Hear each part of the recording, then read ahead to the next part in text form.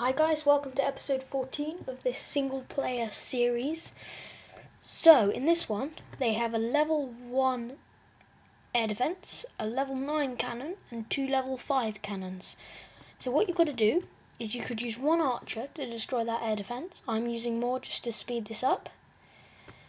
And as soon as that air defense is down, there are no air defenses or arch towers left. So you are free to drop your balloon or dragon or whatever you want to use. I'm using a balloon here. Watch out for traps, especially between the two cannons at the bottom end of the map. Where just below where I dropped those balloons, there's a lot of traps, so you just have to be careful there. And I just sent in some balloons, which will destroy those two cannons. Sorry about this lagging up. Let's try and stop that.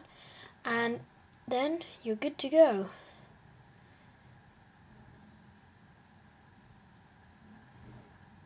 So thank you for watching. Please like, subscribe, check out AppNana.